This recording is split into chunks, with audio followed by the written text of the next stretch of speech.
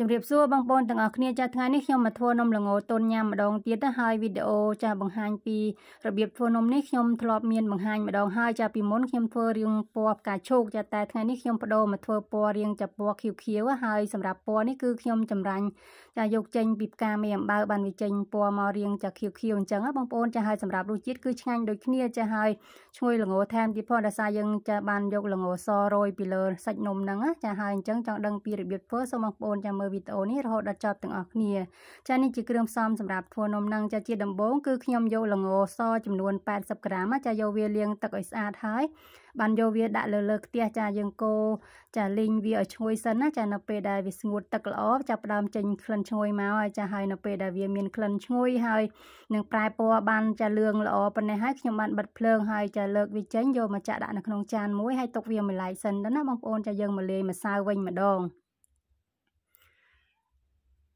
ចាខ្ញុំបានដាក់អំបិលចាមាត់បន្តិចហើយនឹងស្ករស120ក្រាមហើយនឹងចាខ្ទិះដូងចំនួន160មីលីលីត្រចូលទៅចាខ្ញុំកូរស្ករសហើយនឹងអំបិលឲ្យវារលាយនៅក្នុងខ្ទិះដូងនឹងឲ្យបានល្អសិនណាចាបន្តមកទៀតបានខ្ញុំចាក់ចាទឹកពណ៌ផ្កាមេអំបៅនឹងចំនួន100មីលីលីត្រចូលទៅចាខ្ញុំត្រូវការពណ៌រៀងច្បាស់អញ្ចឹងហើយបានខ្ញុំដាក់ចាទឹកតែបន្តិចទេហើយចាយក ផ្កានឹងដាក់ឲ្យច្រើនអញ្ចឹងបងប្អូនបានវាចេញពណ៌ច្បាស់ល្អចាបន្តមកទៀតបានខ្ញុំចាក់ម្សៅដំណើបចំនួន150ក្រាមចូលទៅហើយកូរម្សៅនឹងចាឲ្យវាសប់នៅក្នុងចាទឹកនឹងសិនណា ចាបន្ទាប់ពីកូរម្សៅនឹងសព្វល្អហើយ ចាខ្ញុំបានបន្ថែម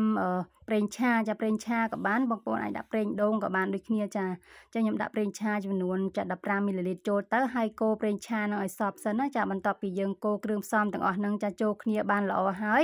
ចាយើងអាចត្រៀមវាយកទៅចាក់ដាក់នៅលើខ្ទះបានណាចាហើយអញ្ចឹងខ្ញុំបានត្រៀមចាដាក់ខ្ទះឲ្យហើយចា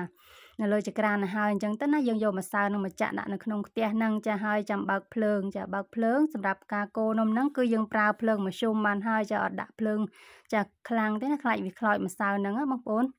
ចាបន្ទាប់ពីចាក់ម្សៅនឹងហើយយើងអាចកូរវាបានណាចាកូរវារឿយរឿយចារហូតដល់វាចាស្ងួតដាច់ទឹកបានល្អចាកូរតែមួយសន្ទុះទៅវាចាប់ផ្ដើមចារៀងខាប់ខាប់ចា កកកអញ្ចឹងតែអត់អីបងប្អូនចាយើងបន្តកូររហូតតតែវាស្ងួតដាច់ទឹកបានល្អចាវានឹងចាប់ផ្ដើមចារលោងល្អម្សៅហ្នឹងចាហើយវាវាលែងជាប់ឆ្នាំងទៀតដែរបងប្អូនចាអញ្ចឹងខ្ញុំបន្តកូរវារហូតដល់ឆ្អិនសាច់ម្សៅល្អសិនណាចាបន្ទាប់ពីសាច់ម្សៅនឹងឆ្អិនល្អហើយខ្ញុំបានចាក់ល្ងលីងដែលយើងបានលីងទុកមុនហ្នឹងចាចូលទៅទាំងអស់ចាហើយធ្វើការសង្កត់ម្សៅនឹងតិចទៅដើម្បីឲ្យវាជាប់សាច់ជាប់ក្របល្ងបានល្អអញ្ចឹងណាបងប្អូន ចាអញ្ចឹងខ្ញុំក៏បិទភ្លើងចាហើយចាលើកចាម្សៅនំហ្នឹងចាដាក់នៅលើចានហើយទុកវាចុះត្រជាក់អញ្ចឹងដោយសារចានវារាងក្លុកពេកខ្ញុំចាក់ដាក់ចានសប៉ែតវិញដើម្បីងាយស្រួលសកត់ម្សៅហ្នឹងឲ្យវារាងសប៉ែតអញ្ចឹងបងប្អូនហើយឲ្យវាឆាប់ត្រជាក់ផង